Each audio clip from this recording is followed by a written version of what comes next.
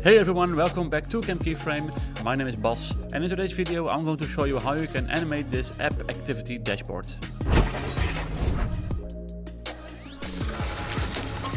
So I've got this composition here with these kind of numbers in it and these graphs and this stuff, like kind of like of an you know, a health app dashboard with this uh, stuff. And I'm going to show you how I animated this stuff, you know, coming into the screen.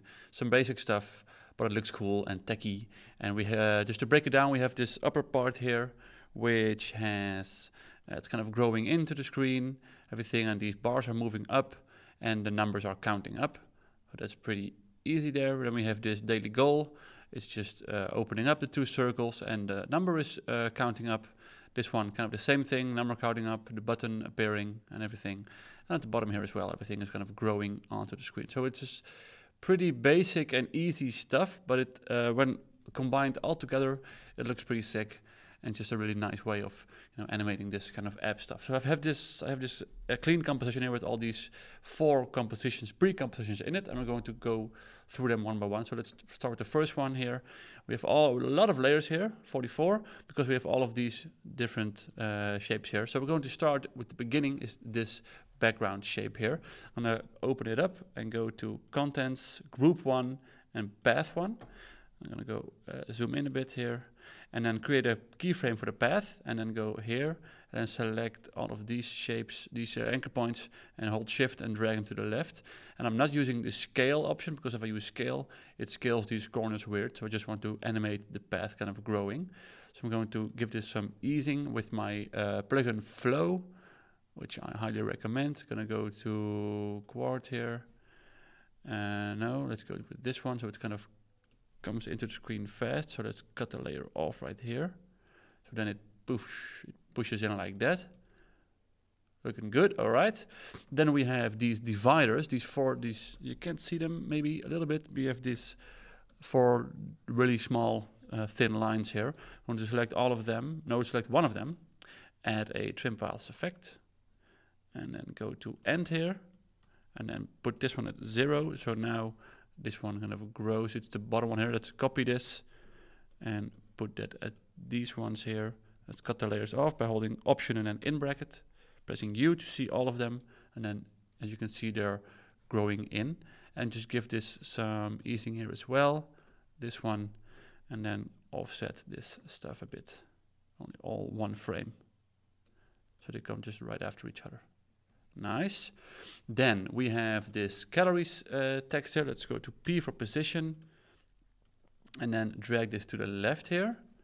And maybe do the same with this one. I think I will need to delete this, um, copy this. Um, yeah, like that. Position to the left here as well. Nice. And this one and this one, let's come let them come from, let's put them up here. Oops. I want to put them with these ones here. And I'm going to give this a position as well. And maybe have them come from the from the right. Like that. So, all right, and give this some easing, like they kind of jump in. Like they're popping into the screen. Let's play this back. And have this calorie come in a bit later. I'm going to duplicate this one, pressing Command D. Uh, no, uh, yeah, I am duplicated. And then I'm going to double click it and make it a slash. And go to the P for position here. And then drag this over there. So we have a separate layer for that. Nice. And then maybe give this a bit earlier and the calories a bit later to have some offset in these layers. So that looks cool. And then maybe give this one, go to the T for opacity and make start at zero. So we have kind of this fading in of that one.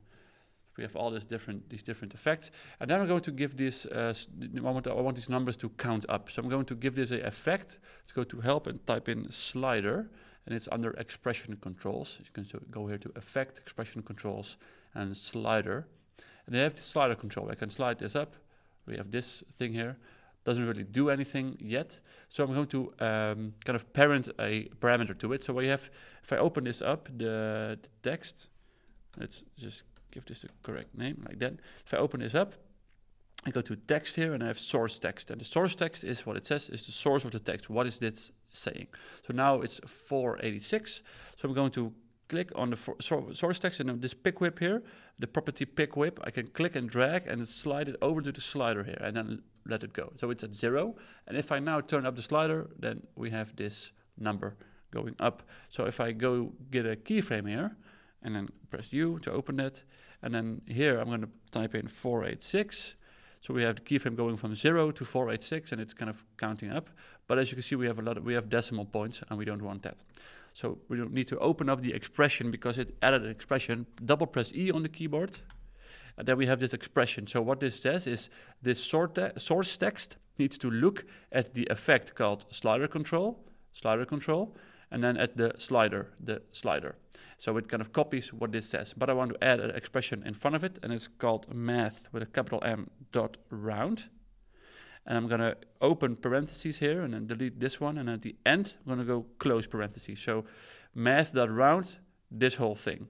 What that does is that it's um, rounding out the math to zero uh, decimal points. So now it's just doing this.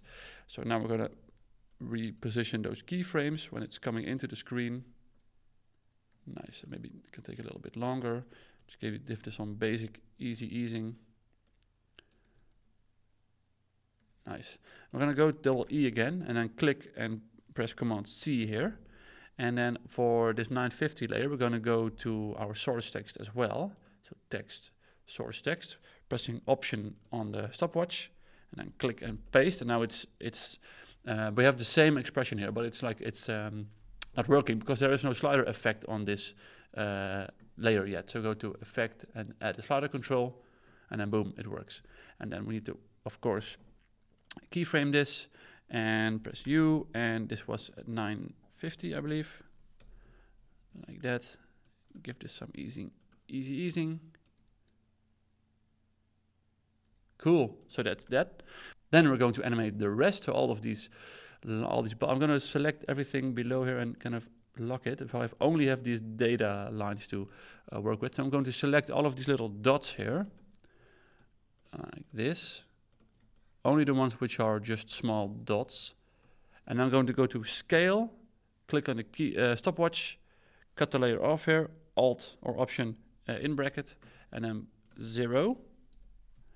And then I'm going to select all of these and give this a easy ease like this. So now it's, yeah, they're kind of growing in. And for these ones, I want the I want kind of this line to grow from the bottom up. So um, what I then these are not this is not a stroke. This is a fill. Of course, you can do this with a stroke and then use a, uh, use a trim paths effect, but I want this, want this to have a gradient going down, up, and you can't have that in Illustrator only from left to, or in After Effects, I'm sorry, only from left to right. So that's why I made it fill, but it's a really easy solution. I'm going to click on the pen tool here. I'm to zoom in, click down here, and then hold shift and click up here. And then give this a, like make it blue, and then I'll give the stroke width just as wide as the line, maybe a little bit wider, yeah, like that. Then I'm gonna open this up, contents, shape one, stroke one, and then for the line cap, I'm gonna go to round cap, so it's rounded out. Cool, and I'm going to duplicate this thing and place it over there, and do that with all of these. So duplicating it, and then placing it exactly over the line. Whoop, exactly over the line, I said. Um, what we're going to do next, we're going to add a trim paths effect to uh, these layers here, and then uh, have them work or kind of function as a mask for the gradient orange layers. So three more to go. Duplicate, duplicate, and duplicate, and position. And then I'm going to click on my uh, pen tool, the letter G on your keyboard, and click and drag while holding shift, drag them down. So they are kind of just a little bit longer than the shape it's going to mask.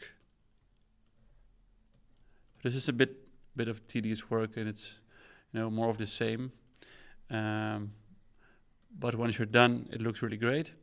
So just do this stuff. And I know animating is not always really fun sometimes you have to put in the work and do a lot of the same stuff over and over again to make something look cool.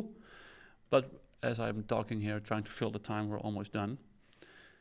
Uh, this one is good already. Um, make sure to hold shift. All right, so now they are there. And then we're going to add a trim paths effect. So open one up, go to add trim paths, open it up, end keyframe, go back a little time a little bit and go this to zero. So now it's growing up, as you can see.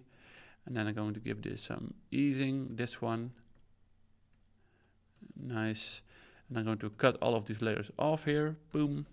Select the trim paths effect and paste it over there while I'm standing on this first keyframe. So it pastes all of the keyframes in the exact same spot.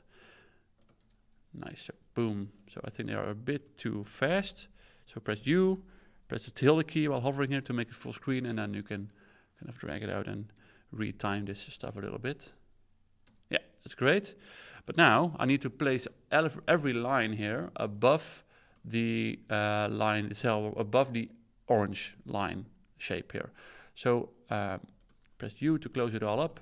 And these are the orange lines in here. So we're going, and this one is the first here. Whoops. and I'm going to place this below above that one and this one above that. So every uh, orange layer needs a blue layer above it. Um, so I can uh, use the blue layers as a track matte. So I'm going to tell After Effects, hey, uh, these orange layers can only be visible within these um, other orange layers. Oh, I forgot this one.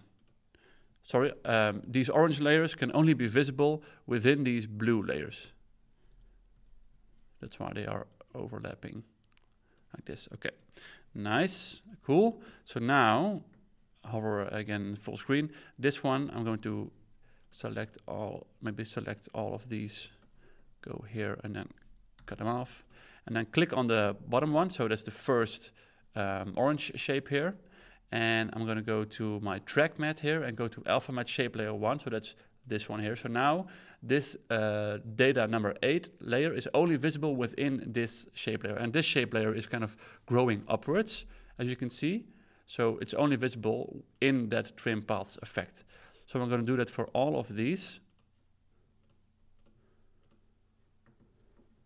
All right, so we're done. So now you can see that they're growing up like that. So now we need to offset everything. So this is kind of a tedious work as well. I'm going to zoom in here so I can only see one frame. And if I open this up and I can, boom, I can just place everything apart one frame.